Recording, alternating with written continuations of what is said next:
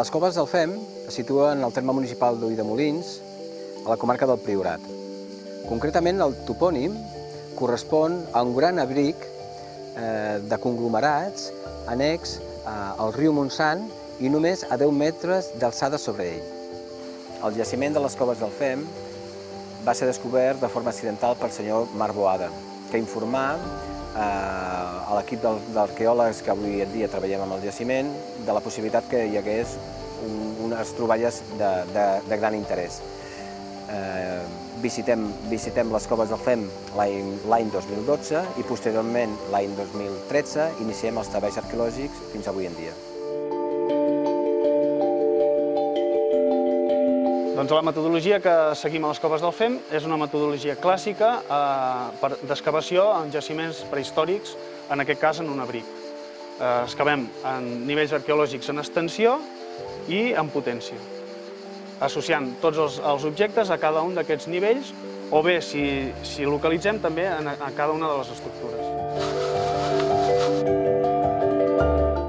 Doncs aquest seria el, el testimoni que ens queda un cop excavat aquest, aquest sector, amb l'ocupació més antiga, que estaria a partir d'aquest nivell d'aquí, que seria el Masolític, datat en 6.000 abans de Crist, el Neolític Cardial, que estaria eh, fins a aquesta, a aquest nivell d'aquí, que estaria datat amb uns 5.500, i d'aquí cap amunt la fase epicardial, amb una datació més recent, eh, en els nivells superiors, que estaria al voltant del 4.700, una cosa així abans de Crist.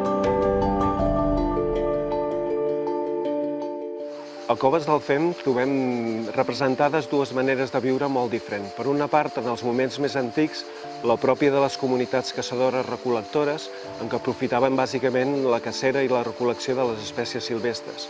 I en canvi, en un moment més recent, trobem les, la forma de vida de les comunitats pageses del Neolític, on introdueixen a la seva dieta i la seva manera de vida l'explotació de ramats d'animals i espècies vegetals conreuades. Importància de Coves del Fem és que trobem registrat dins un mateix jaciment arqueològic un canvi molt important en la història de la humanitat, com és el pas de comunitats caçadores-recol·lectores a comunitats pageses del Neolític. Aquest canvi va ser molt important perquè va comportar canvis molt importants en la història de la humanitat.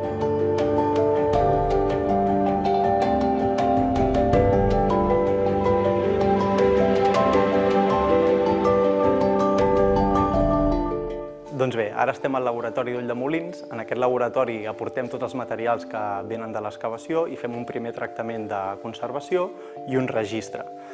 Un cop tenim aquests materials registrats, els dividim i els eh, classifiquem segons el tipus de materials que som, que després enviarem a cada un dels especialistes que, des dels laboratoris de les respectives institucions, faran els primers anàlisis i informes que ajuntarem posteriorment per tal de donar eh, resposta als objectius generals que tenim com a projecte de recerca.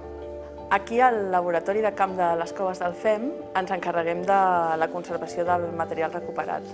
Uh, fem primeres neteges, consolidació del material que està més delicat, uh, embalatges pel transport i també extraiem algunes mostres del material que ho requereix per posteriors estudis.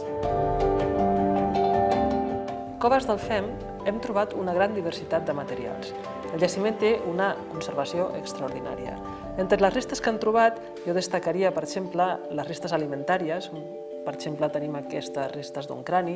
Eh, tenim també molts instruments, tant elaborats amb os com elaborats amb pedra, i fins i tot també tenim atuells ceràmics, que són un dels elements més característics del Neolític, i que aquí podem veure que tenen la característica decoració cardial. A més d'això, jo destacaria també la presència d'ornaments, eh, com per exemple aquesta pedra perforada, o fins i tot les restes de, de plantes, com les restes de gla que tenim aquí i que podrien haver format part de la, de la seva dieta. La realització d'aquest projecte és possible gràcies a que moltes institucions estan involucrades.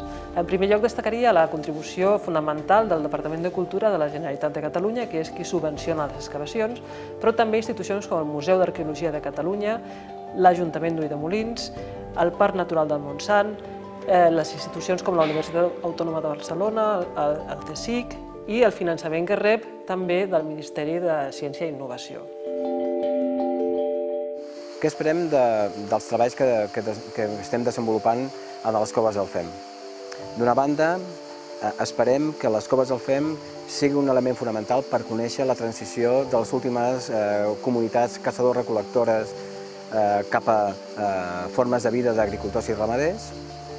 I d'altra banda, esperem que la recerca que s'està desenvolupant i que es desenvoluparà en el futur en les coves del FEM s'estableixi com un referent internacional pel coneixement d'aquestes problemàtiques.